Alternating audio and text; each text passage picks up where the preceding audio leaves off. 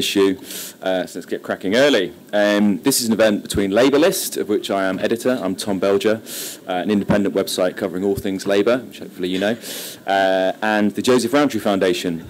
Uh, so my panel today, really pleased to say, is uh, Darren Baxter to my left, who is the Principal Policy Advisor uh, at the Joseph Rowntree Foundation. To his another chair for Vicky? Yeah. To his left is going to be Vicky Spratt, um, but she's uh, been put on a last minute assignment. Uh, she's a top housing correspondent for The i. She should be joining us shortly. Uh, and to my right, we have uh, Tom Copley, who I think I'm right in saying is Dep- Deputy Mayor of London for Housing. Uh, and then further to my right, uh, not politically, Matthew Pennycock, uh, Shadow Minister for Housing and... Slander. Pennycock, whoops. Cook. Cook. Matthew Pennycook, uh, Shadow Minister for Housing and Planning for Labour. Um, okay, so I was just going to say briefly, um, Labour's made a lot of positive noises on housing, uh, and uh, they want 70% of people to own their own homes, which is a pretty ambitious target. They want social housing to be the second largest tenure. Uh, they want right to buy sales to be replaced. Uh, they've said they will introduce a new mortgage guarantee scheme to help first time buyers. Uh, they promised to boost leaseholders' rights, which feels pretty overdue, uh, and a uh, private renters charter with some quite wide ranging reforms, uh, and obviously planning reforms got a lot of headlines and much more. But I thought it'd be interesting to start maybe with. Um, what Labour's immediate focus should be in power. You know, what kind of things they could actually potentially do, either in the first hundred days or early on at least. Uh, and I know Darren has some uh, interesting thoughts on this and done some work on this. So let's start with Darren on that one. Oh, brilliant. Thanks, Tom. Yeah, so I mean, I'm not going to sort of start by saying how bad the housing crisis is because like clearly nobody would be in this room if they thought the housing market was doing great. So we know there's a big problem, but we also know that there's a the sort of current moment creates a load of challenges. So like rates of building is down relative to where it was even a few years ago. Um, housing associations, councils are struggling to build. Renters and mortgage holders are seeing their costs increase. So any government after an election next year is going to be inheriting a even trickier and escalating housing crisis.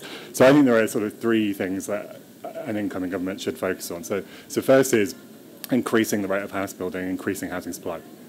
And that means building at all sorts of different levels, you know, like small sites delivered by small builders, kind of medium stuff, but also really big stuff. And I think um, it's really welcome to hear on the Today programme um, announcements from Labour about these, you know, big, big kind of publicly led new towns. And I think this is like a a really ambitious opportunity for Labour. But the question that they'll need to answer, Matthew will need to answer if uh, Labour do win the next election, is how do you actually start to develop those? So yes, we need things like planning reform. Yes, we need things like land market reform to make it easier for councils to buy land. But we also need like more institutional capacity to actually drive those things forward. Private sector's not going to do it. Councils are underpowered, given that they have not been building for a long time. So we've called on setting up a publicly owned master developer to do that. So that is one thing. The second is also need to think about the sort of demand side of housing. You know, investment in housing has surged in the last couple of years, and that's why we've seen the private rented sector go, grow massively. So over the last two decades, we've seen the number of 16 to 34 year olds who own their own home halve. Over the same time, the proportion of people that own multiple properties, so who are landlords or who have spare, um, second homes, has doubled at the same time. Two sides of the same coin. And that's because it's easy to become a landlord, money's been cheap, regulation's been poor, um, and tax has been low. And we need to change all those things. So regulate renting to make it more secure, but see that as part of rebalancing demand in the system as well. So changing some of the taxes around things. And we can talk at length about what those should be. And finally, the housing crisis is worse for those who are on the sharpest end of it. So housing costs have always been a driver of poverty, but in when we look at the things we do as a foundation, uh, sort of like our cost of living tracker, which looks at people on the lowest 40% of incomes and sees how they're faring with debt and borrowing, this stuff that comes out of like sector partners like um, the Citizens Advice Bureau, we're seeing that you know pretty much every measure is getting worse, and we've got some work on destitution coming out in a couple of weeks, and that will have really worrying figures about just the escalating crisis there. And the role of housing costs in that is just ever growing. And so a, a new government will absolutely have to grapple with those things first. I mean, one easy piece of low hanging fruit would be making sure that the housing support you get through universal credit, which is currently frozen despite rents rising massively, is um, reconnected. So the support you get to help you pay a rent if you're on a low income matches the actual cost of renting locally. So those are three ideas, but very interested in what the rest of the panel has to say as well. Thank you so much. Food for thought. Uh, Tom, any ideas for uh, your colleagues nationally on um, what Labour could potentially do? Oh, I suspect I've got a very long list, but I'll, I'll try and keep it uh, as brief as possible. Look, I think you know, housing is absolutely foundational. It's completely fundamental to people's lives and people's ability to lead a, a good life.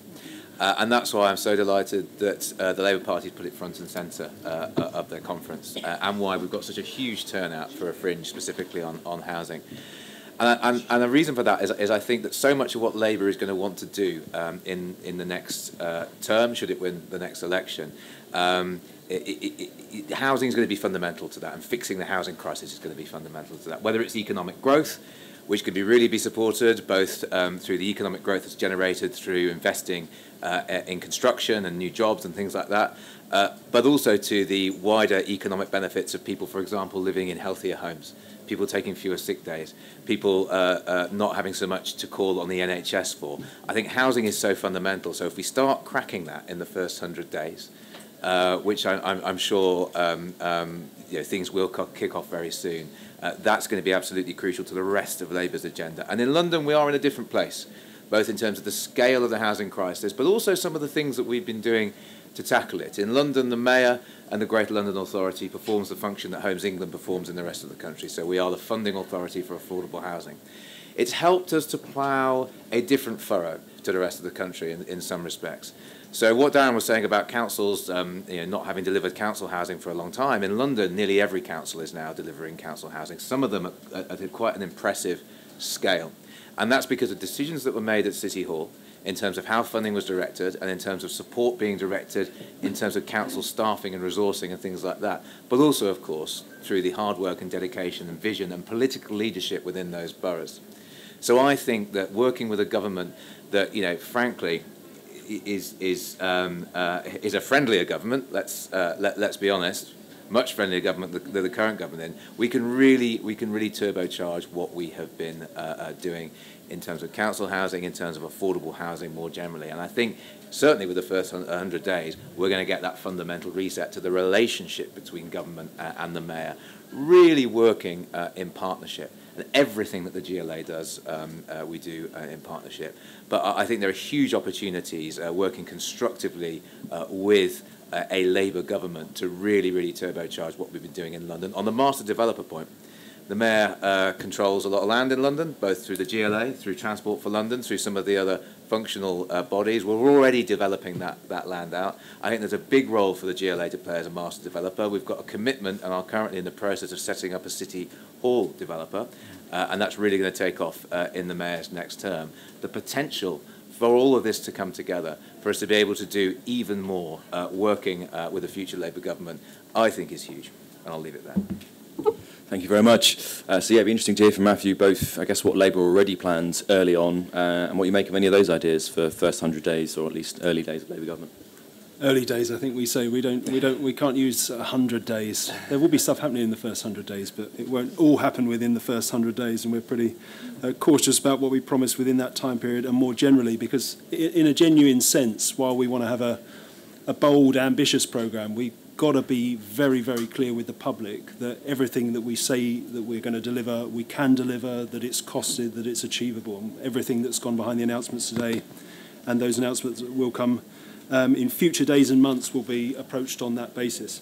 I'd say a few things. I mean, first, it is absolutely amazing to see so many people here for a, a housing fringe. It is, it is, you know, it's really heartening to see uh, members, to see you know partners who've come to the conference take an interest, and I'm really glad that it's front and centre. Keir's going to be talking later today about how we give Britain its future back. This is absolutely central to how we do that. Um, both in terms of delivering on all the missions. We won't get economic growth unless we get house building going, unless we, uh, uh, you know, deal with some of the constraints in the planning system, make it faster, more streamlined. We won't unlock opportunities for all. We won't deal with net zero or health outcomes, uh, for that matter, if we don't get this going. So it really is central to a number of the missions. Um, I'll just touch upon, uh, Darren said we won't touch upon the, the housing crisis, and I, uh, absolutely makes the right point that most of you in this room will probably know firsthand um, how acute that crisis is. I, I describe it as an entrenched crisis, but an intensifying crisis, and I don't think it, it is um, hyperbole to say that in some parts of the country, including my own um, part of southeast London, it has reached emergency levels. I mean, TA rates are at risk of tipping local authorities into real financial difficulties. And obviously, behind all the statistics, all the units are people. And, uh, you know, any elected politician at this conference will tell you, I have people at my advice surgeries week in, week out in tears because they are stuck in overcrowded, unsuitable accommodation. So we're paying a huge price in terms of what we're doing to our population, particularly our uh, young people, particularly children stuck in TA. I think it's absolutely shameful situation we're in. But that wider economic uh, picture as well, we're harming productivity, we're harming growth by constraining uh, what our towns and cities can do. And it is all going to get a lot worse. Uh, you know, the market conditions as they stand for various reasons, including um, one of my constituents, a, a and her impact upon the economy um, is part of that. But it goes way beyond that, and I think it's about policy choices this government have made, which will actively exacerbate the crisis. You know, and we can I could reel off any number of them. But the abolition of, of mandatory local housing targets is already feeding through into suppressed house building rates, local plan coverage dropping, and all of this I think will give us a very, very difficult inheritance if we're elected at uh, the general election next year in terms of what we pick up. And what we do will really depend on where the government have got to. And I'll give you a couple of examples. We are absolutely committed to comprehensive reform of the private rented sector. The government's bill is a good starting point. If they don't deliver that bill, we've got to look to deliver that piece of legislation. We are absolutely committed to fundamental reform of the leasehold system. If the government don't enact the Law Commission's recommendations in full, we will have to pick up and finish that. So we're going to have a very busy agenda. But more widely, and building on some of the announcements we've already made, we have just got to boost supply and supply of all forms of housing. We've for decades not built enough housing in this country. We've got to address that. And in particular, we've got to build a lot more affordable and particularly genuinely affordable social rented homes as part of that mix. We've got a chronic shortage of them, and it really is at the heart of the housing crisis um, as we see it today. In terms of very early steps, I'll just say a few things. I think because of the situation we're going to inherit, we in a sense need a, a rescue package for the planning system.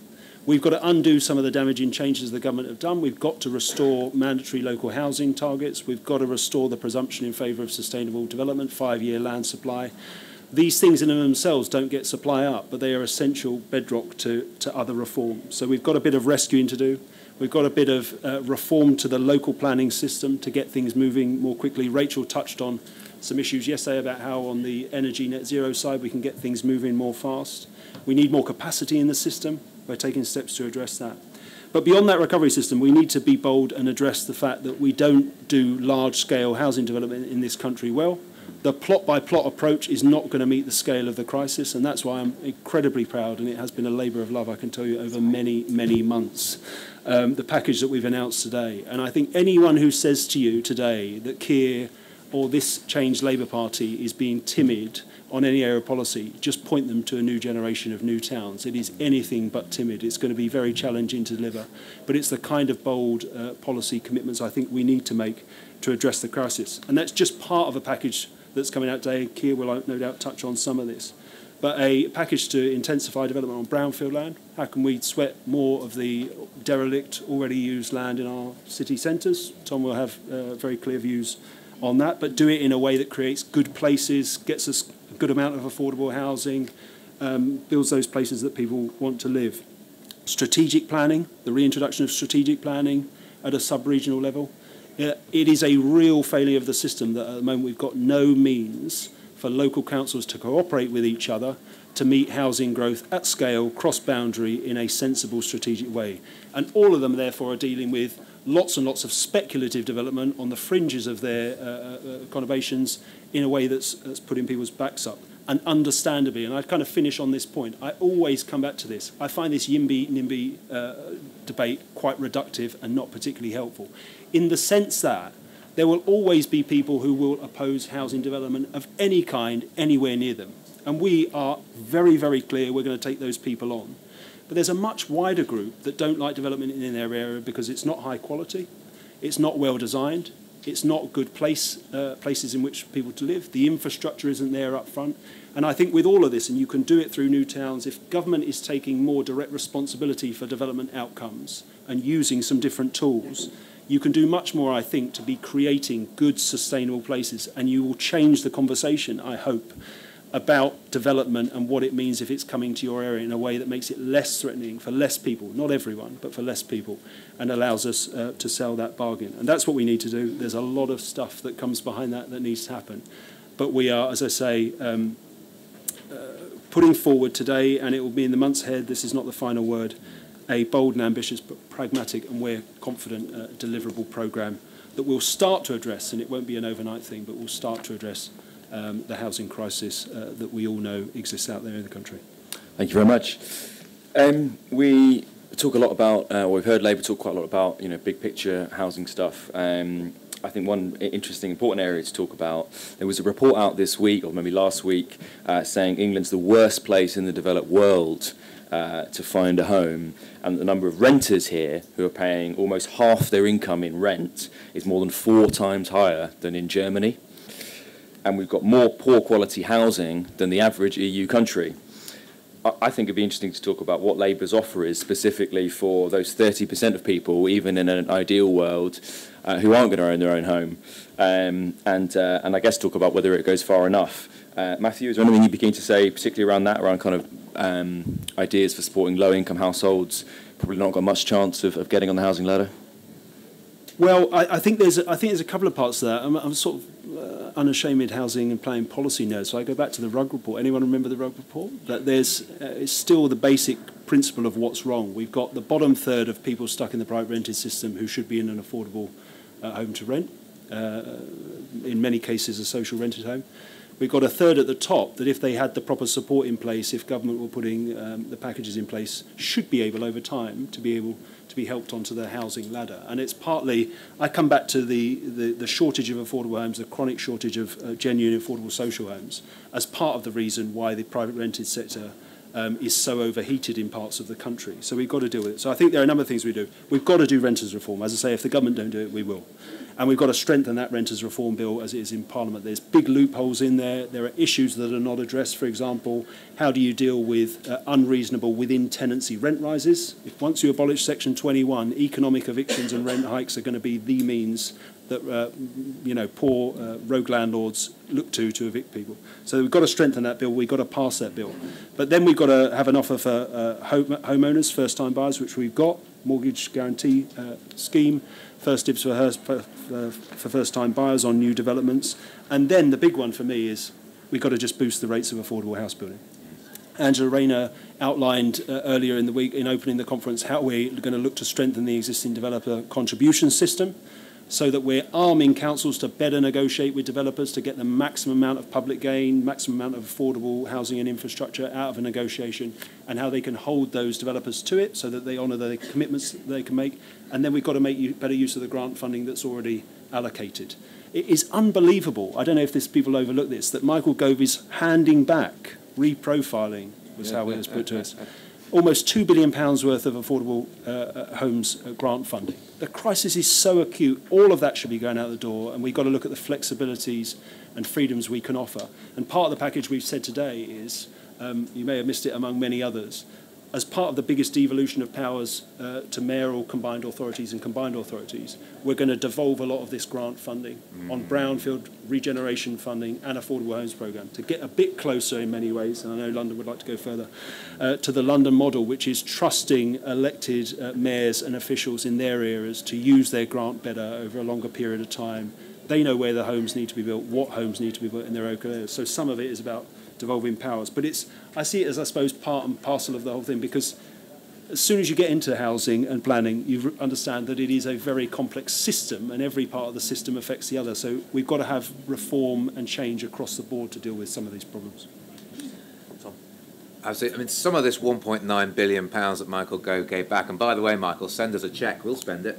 Um, but it's housing infrastructure funding that has been sitting, we've been talking about for years and years and years, where stations could have been be under construction or have been built by now to support housing that can't come forward until those stations have been built. And this is money that keeps getting handed back, um, and you know, discussions go nowhere. It, it, it is completely and utterly dysfunctional, and that speaks to Matthew's, I think Matthew's devolution point. But the question was about renters and the private rented sector. Look, we ha- have come in this country partly by accident, partly by design, to be far, far too reliant on buy-to-let landlords.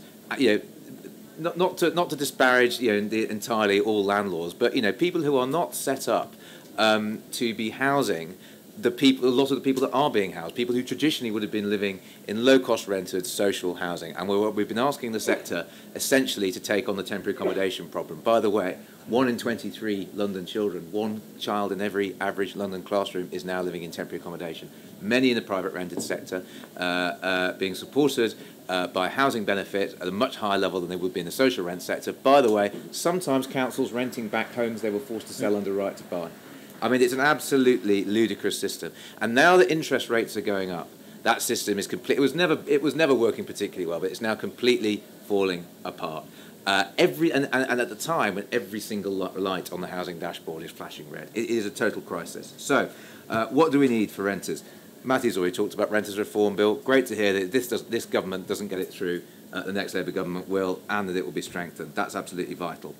The Mayor's also calling for rent control, uh, the power to, be, for, to introduce rent controls to be devolved to City Hall, uh, and then we would set up a commission to design a system that will work for London. I think that's eminently sensible. It's not a silver bullet. It's absolutely not a silver bullet. I don't believe in silver bullets, and rent control certainly isn't. It's got to be in the context of a, of a, of a, a, a very large-scale home building program, which brings us on to the next thing, which is social home building. That is going to be absolutely crucial. Uh, we've got to get that level up. Uh, we need to get more grant in. You, you can't build subsidised housing without without subsidies, so we have to do that. My my my um, uh, sort of case to the government is always is invest to save. I know you've got to spend now, and the savings come later, but the savings will come. They'll come in lower housing benefit, lower cost of the NHS, uh, and the boost that you'll get to the economy as well. The, the final thing, uh, uh, and just on that, by the way, on social home building. Um, we have had some success in London when Sadiq Khan, and this again speaks to devolution, when Sadiq Khan came to power, Boris Johnson left just three City Hall funded social rent homes in the pipeline. We started more than 1,500 social rent homes, uh, homes at social rent levels last year, uh, and we want to do even more. The final point I'll just make uh, is a welfare one, and that's around LHA rates. We do need uh, uh, uh, to have an uplift in LHA rates because you know, currently only less than 2% of the private rented housing stock is affordable, and that's just not, not sustainable. But even if you will increase LHA rates, in the long term, if you build social rented housing as well, we can start to get that housing benefit built out.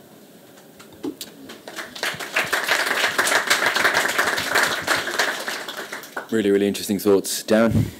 Um, I think I'll be brief because I actually disagree with a lot of what Dan just said.